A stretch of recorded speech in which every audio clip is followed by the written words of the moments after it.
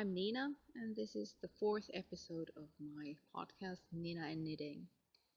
Uh, today is Sunday, August 28th, and I'm just coming back from a dog show, a puppy dog show, where I was working today, and I just thought I'd stop somewhere in between and record this and maybe get it uploaded tomorrow onto YouTube. Um, so this is my podcast. I also have a blog which I now have updated, and this is um, it's called Niina Knitting, and I'll give you the link in the show notes. Sorry about the cars that you hear driving by. Just wanted to try and find another location to record and hopefully get a, a quite a nice view. I'll show you the surroundings afterwards. Um, so my blog, I also have a Ravelry group.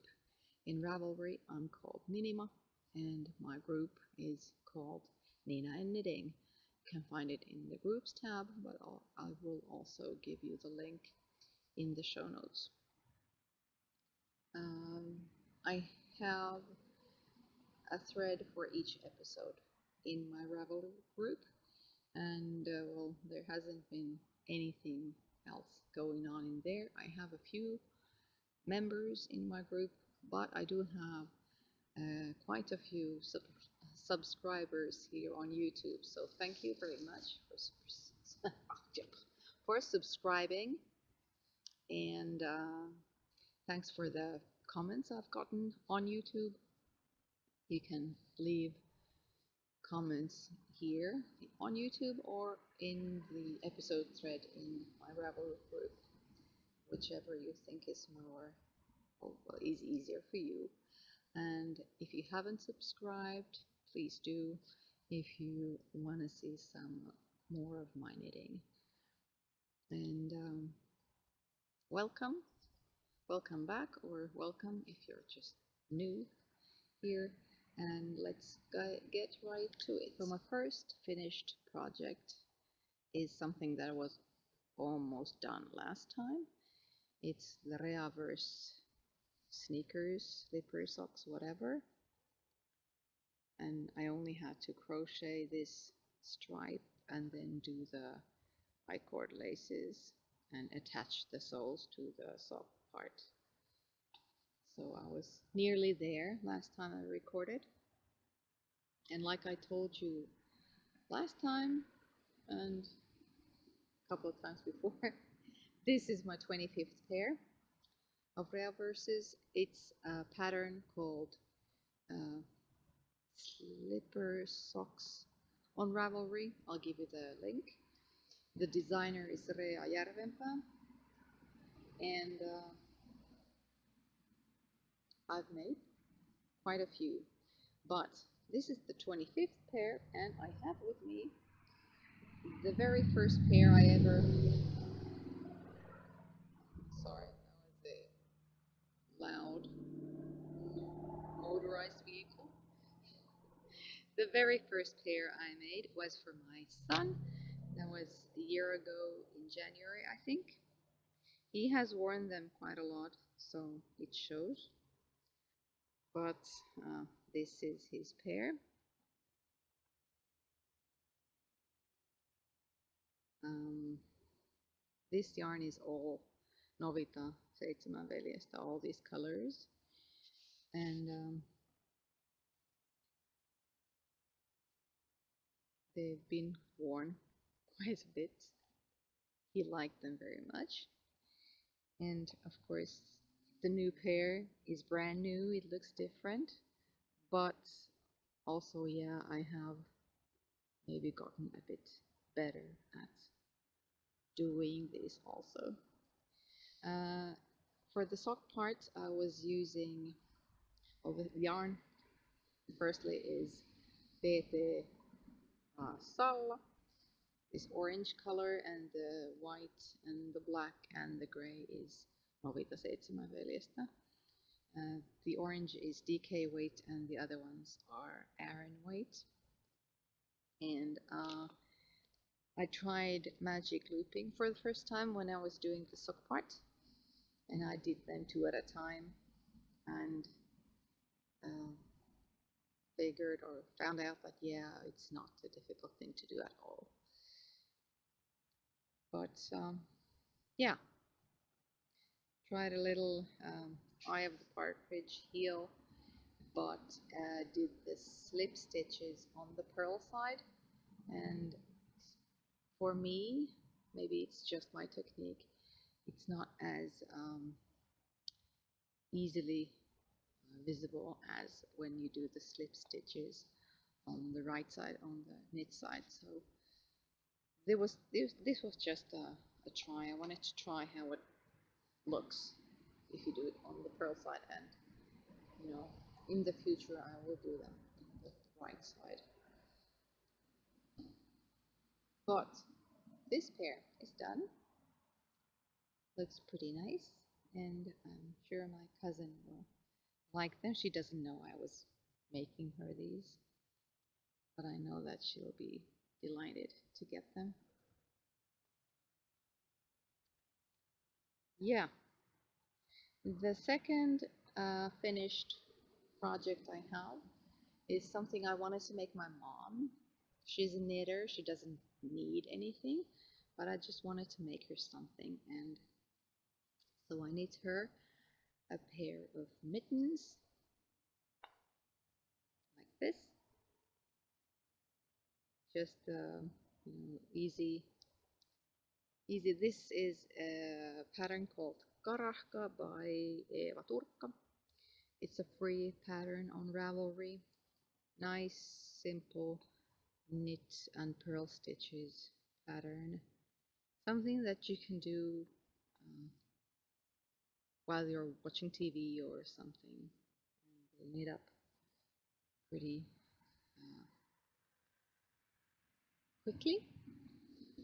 The yarn here is Dyeworks Stranded Dyeworks. Sorry, my mind is elsewhere. Stranded Dyeworks um, Paradise in Goldfish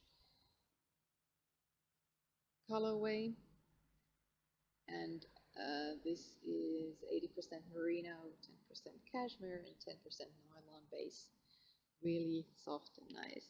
I think they'll make a really nice pair of mittens. Mom will definitely like them.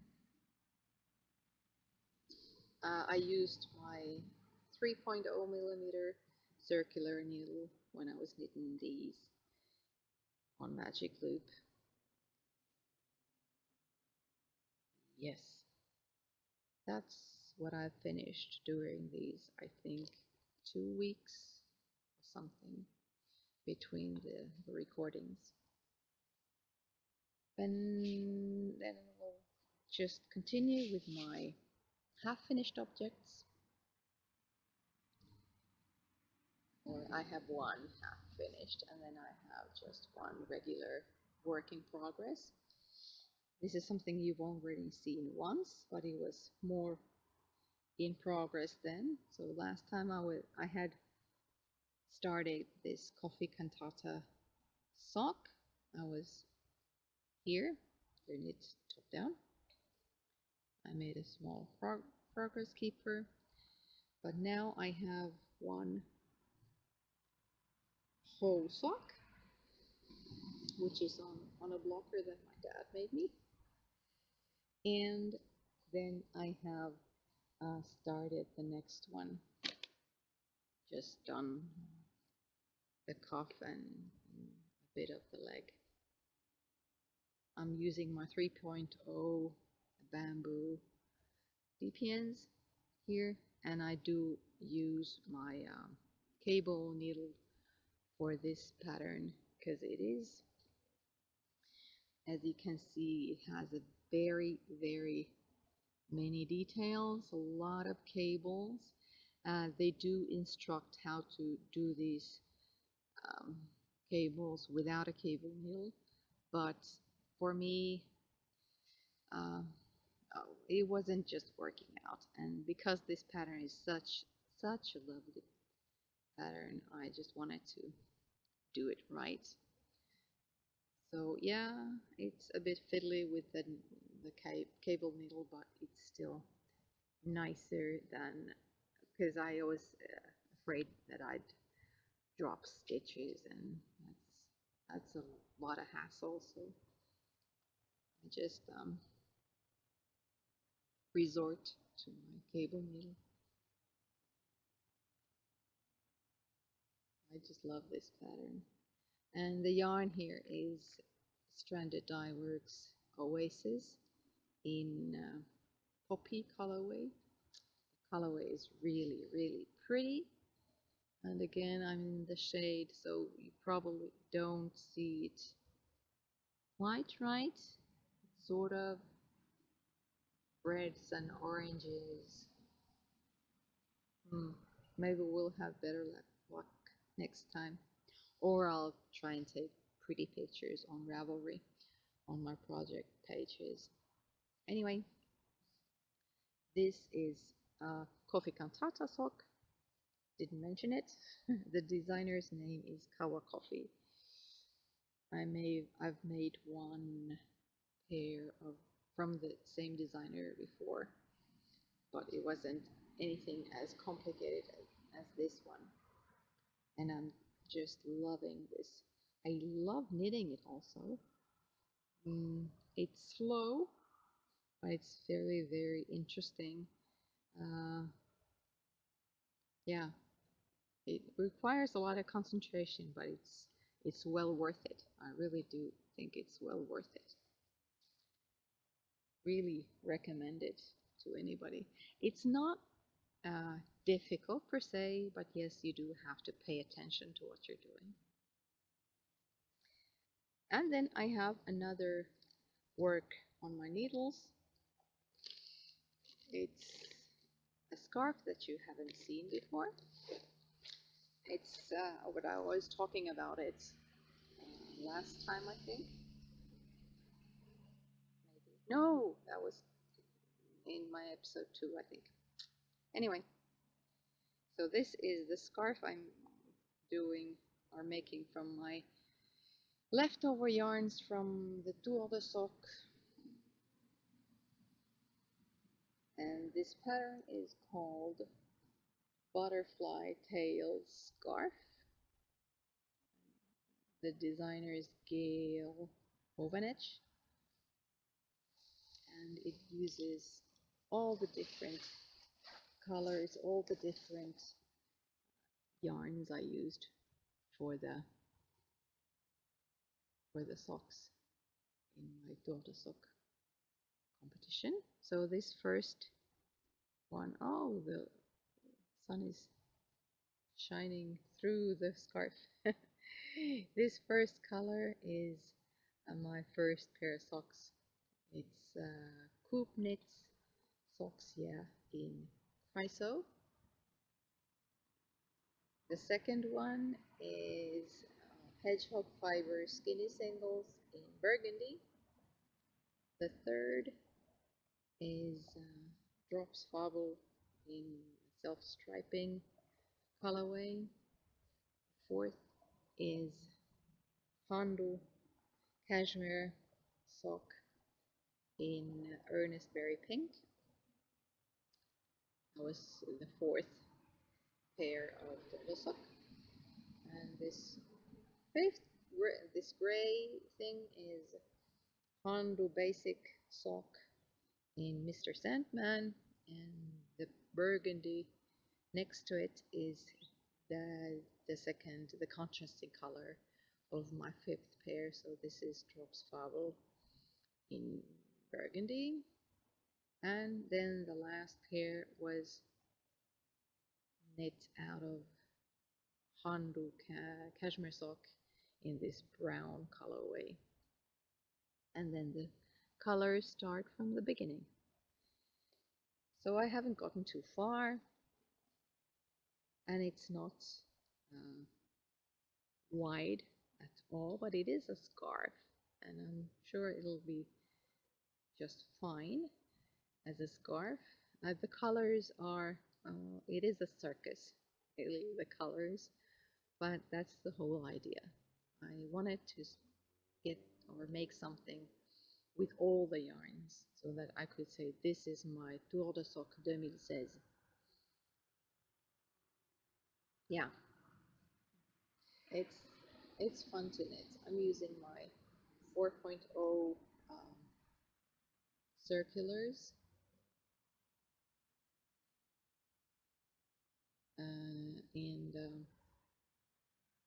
these are all fingering weights. Well, the price of the Coop Knits, yeah, is light fingering, but you know, using the 4.0 and the the garter stitch is well, does have um, a lot of holes, so it's it's soft. It's nice and soft. It'll be great when I get it finished. But I'm I'm taking my time. It's not something I, I'm uh, rushing into or or you know don't think I'm I should get it finished too soon. Right. So, two finished objects, two th things on my needles at the moment. Uh, I also got something in the mail. I haven't ordered any yarn or anything, but uh, I was uh, doing a international sock swap this summer. Uh, I sent my Tour de Sock stage one socks for my so uh, my swap partner uh, because they were a bit bit too big for me and uh, according to the info I got from her I, I just figured they'd fit her fit her okay, and actually I have seen a photo with of her in the socks or with the socks on her and and they looked fine. So um, I'm glad they found a good home I hope. But I got got mine from somebody else somebody other than the one I sent my socks to. These came from Sweden don't know from whom because it didn't have any note with it but it's a spare uh, it's a pair of uh, socks with the nice uh, crocheted flower here on the leg and this yarn is is I think it's a Swedish yarn raggi and it's very soft. Feels very very nice. Um, don't know how I uh, don't know the weight. I think I think maybe Aran weight or something because they are quite thick. But they'll be perfect for the cold uh, winter nights. And they fit me really nicely so yeah. I'm really happy with this. Got got it. I you know had to get it from the post office. They don't deliver packages at home unless you pay some extra for it. But yeah a nice pair of socks. A nice surprise because I didn't know what to expect. Yes.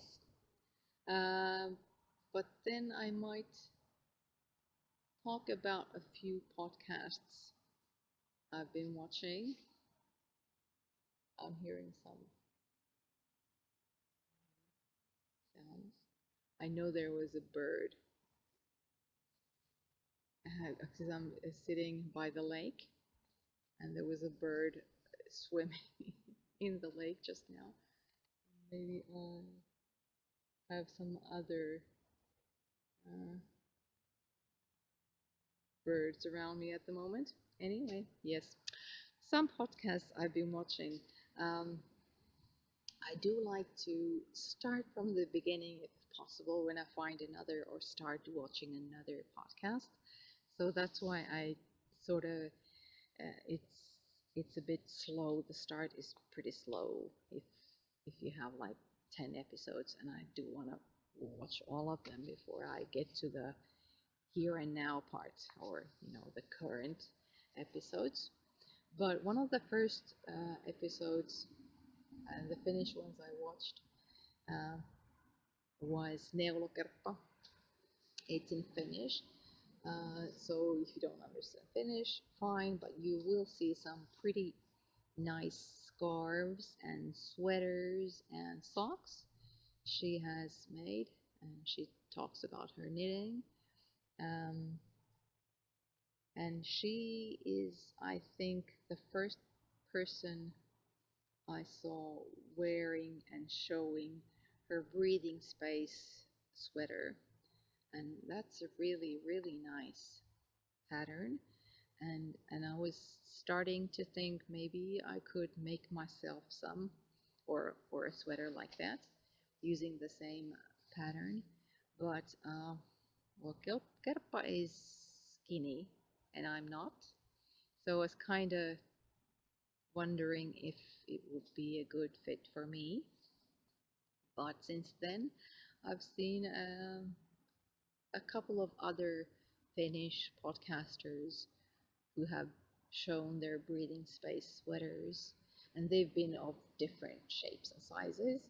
So it, it seems that the the pattern is is good for different people. So I will definitely um, start making me some or making me a sweater using that pattern um, just as as fast as I can get some yarn for it. I have already decided mm, the main color. Actually, I'm going to use this poppy color. I'm going to ask Amy, Amy from Stranded Dye Works if she could dye me some of this poppy colorway in in the paradise base because because that's just gorgeous.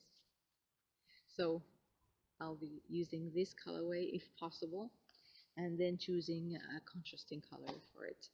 Uh, I actually was in in one of my local yarn stores with my uh, daughter maybe a week ago or something and we were supposedly buying some yarn, the contrasting color for that sweater. And uh, my, my daughter is three years old, three and a half, and we had been in the same store before buying some yarn. And now we went there again, and I was trying to find the sort of yarn I had in mind, uh, but they just didn't happen to have anything quite uh, like anything that I had in mind. So I just decided that yeah, I'll go there back later with the yarn with my main, main color once I get it. So you know, I'm in no hurry. But I, I was telling my my daughter, okay, now let's go. And she was like, but mommy, we didn't buy any yarn. so I have taught her well, haven't I? But yeah, so breathing space is uh, a really nice sweater pattern, pattern by Vera Välimäki and Neulokerppa or Kerppa, whatever her name is. Uh, I've heard it, her real name, Hanna? No. Well, anyway, she's the first person I saw wearing a breathing space sweater and it looked really good on her and that's that's where I got the idea to make me one one of these days. So, uh, Kerppa shares her life with us in her podcasts. Uh, she um, shows her, she has dogs. I think she has a cat also, other things like that. She has two girls. Um, and she's shown some of the surroundings where she is. So it's a nice, gives a nice um, personal touch to the podcasts. Yeah, I really like it. So if if you're if you understand Finnish, then you should absolutely go and check her out. I'll give the link in my show notes because it'll be easier that way.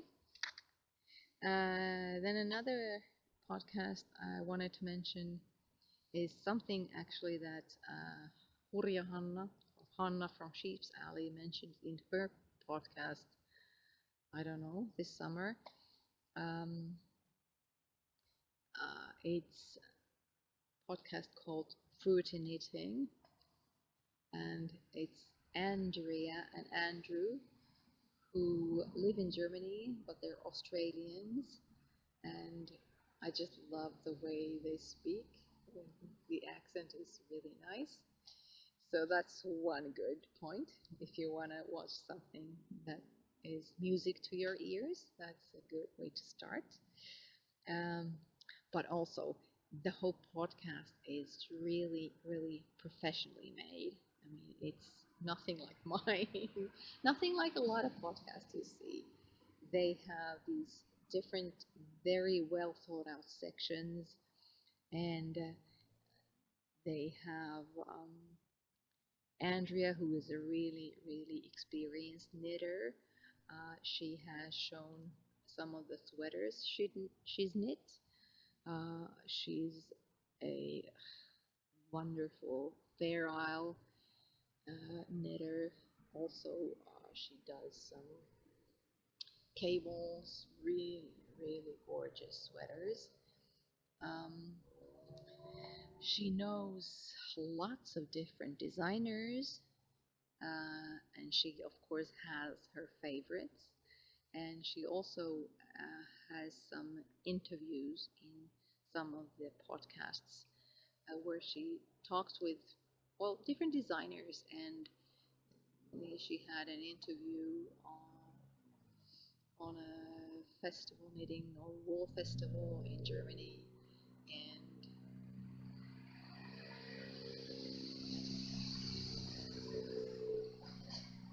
sorry that was really loud really noisy okay um, and um, so the interviews are really interesting. Uh, the, the podcasts, the episodes are long, but they have these different sections. So if you can't spend more than an hour of your life, then you should, you know, just watch a couple of segments and then pause or come back later because they really are worth it. And and you know all the clothes she has made are absolutely gorgeous. Uh, Andrew, her husband, is just the sweetest guy. He's a very in- inexperienced knitter. He says in the first episode that he only knit a small scarf or something, and he was making a hat in there. And since then, he has made a couple of pairs of socks and uh, and now he's making he's knitting a jacket. So hurrah hooray for the courage. And and they both encourage people just to you know try it and just do it like they say in, in a um, slogan. Maybe i won't mention the brand but i guess you'll know. So um, it's it's wonderfully different because Andrea is her, her knittings are just gorgeous, but they're big projects. And then there's Andrew, who's very courageous in everything he does. He yeah, he has a lot of help from his uh, wife, but um, it takes a lot from a man to uh, take instruction well at least uh, from the experience I have of my own husband, my brothers in law, uh, my dad. So, not many people uh, let others give advice. And Andrew is just very good at that. And um, in other aspects too, they're chemistry or the way they treat each other. It's really, really nice. I mean, they're sweet. They're a sweet couple, and they have a sweet daughter who um, have has been seen in some of the uh, episodes too. So really, really worth it, worth the watch. Uh, so fruity knitting. Andrea has also made some tutorials, small, smaller ones and uh, longer ones. She has uh, tutorials on, you know, just very basic th- things and then uh, the more advanced things like how to do Fair Isle double-handed or something. I don't know. Uh, she knits English style and I do continental. So, uh, and besides, I don't do Fair Isle. I don't like using multiple colors. It's too difficult. Well, I can't be bothered with this because there are just so many patterns with just one color, you know, knits and purls and cables. I haven't gotten uh, bored with those either yet. Yes, so go and check it out. Fruity Knitting Podcast. Really, really well made podcast. Uh, then there's uh, one podcast that I've been watching called Francophile Knits. It's Devon from the US, and uh, she has uh, just during this year she has um, written up some patterns and she has been talking about what it's like, what things you have to consider or you should consider uh, if if you're thinking about uh, making a pattern or writing it uh, and you know releasing it on Ravelry or somewhere. Uh, so it's I am sure if you're interested in that sorts of things, that will be very interesting to you. Um, and then she has started dyeing yarn, or she had has been dyeing yarn for uh, several months now. She also has her own Etsy shop, and she does have some really, really gorgeous colors and colorways. Uh, but she's in the U.S., so uh, the, you know the shipping costs are just uh, a bit too much for me at the moment because I, I haven't tried the ones that are closer to me now yet. So anyway, uh, Devon and her husband have just moved this summer, and I think at the moment she's doing her dyeing and yarn things uh, full time, more or less. Uh, so she has uh, quite a bit of different uh, wraps I think, wraps and shawls and whatever. Uh, very nice, very, very, um, ow, that was a mosquito, sorry. they're, they're really pretty. Um, and um, I think she has a couple published or published, but you know, released on Ravelry. So um, you should definitely go and check them out. Uh, she also spins some and uh, you know makes socks and shows well she tells about her life uh, at the beginning of the episodes so we've seen her dog and her cat. Oh cats are just you know they have a mind of their own. And it shows uh, for example in in some of her episodes when the cat is you know climbing on her you know, the craziest things that cats do, you know. So if you're uh, interested in designing and pattern making, and if you just want to see some nice um, colorways of yarn and nice sceneries, I think uh, that she's shown in the recent episodes, then you should definitely go and see what Francophile Knits looks like. Uh, well, she has taught French, so that's the Francophile part of the podcast, and that's sort of the connection I have with her because uh, French is my major, so so that's something extra for me when she's she has uh, ta- talked something about her um, experiences when she's uh, traveled in France and and so on. And then the last um, podcast I'm going to mention is a French woman, uh, sort of uh, similar um, things. She's been doing a s- sort of similar things with Devon from Knits, and it's Charlotte and Gus podcast. Charlotte is uh, lives in Paris. She's French, but it, she podcasts in English.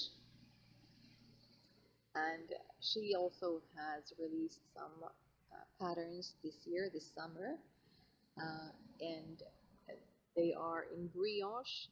She's uh, been very interested in different ways to use brioche. They look really nice, but um, I haven't tried brioche yet. I'm just sticking to my socks now. Uh, but yeah, Charlotte uh, has made a lot of sweaters too, and she has uh, not always used a pattern, so she's just, you know, okay, we'll do some couple of decreases here and increases there, and and they look nice. They look really nice, uh, and and uh, she's cooperated with her local yarn store, which is La Bien-Aimée, and they were the La Bien-Aimée people were here in my home hometown city, whatever. This summer, uh, I wasn't here that weekend. I had promised uh, to be elsewhere, but um, she used La Bien-Aimée yarns in some of her shawls and they had this cooperation where La Bien-Aimée would offer kits for Charlotte's patterns for knitting for knitting Charlotte's patterns. Yeah, I think that's how you explain it. So the yarns are really great. Uh, I did see some of them in my local yarn store, the place where that uh, organized uh, a knitting festival in July on a weekend that I, that I was absent from here. So I did see some uh, La Bien-Aimée yarn afterwards in the store. Um, yeah, Charlotte, you lucky, lucky gal. But of course, yeah, my local store, one of them is just amazing too. So, you know, I can't complain too much. Yeah, So Charlotte uh, has also talked about the designing process and the pattern making process quite a bit. So uh, I'm sure you can find some interesting tips from her podcasts if you um, intend to make your own patterns, write them up. It's very um, interesting stuff. You maybe don't think of it when you're knitting a pattern, a, a ready pattern. It's just, oh yeah, yeah, this is easy peasy. It's not. When they're doing the designing things doing the math and calculating and deciding what will work and what wouldn't. So yeah, very, very nice. And thank you for all the designers, I think not just Charlotte and Devon, but everybody. Yes, I think that's uh, all I wanted to say today. and to get this um, podcast on YouTube tomorrow. I I think I'll I'll take some video from the lake where I'm at at the moment. It looks really nice. Um, and and I'll do another recording in a couple of weeks, I think. Uh, thank you for watching. Please come back. So, in order to remember to come back, please subscribe. The button is, I think, below, at least where I use my, where I watch my YouTube. It's below. No, it's not below. It's over there. Anyway, subscribe button. and please feel free to uh, comment, give thumbs up or thumbs down if you think it's crappy, and um, and um,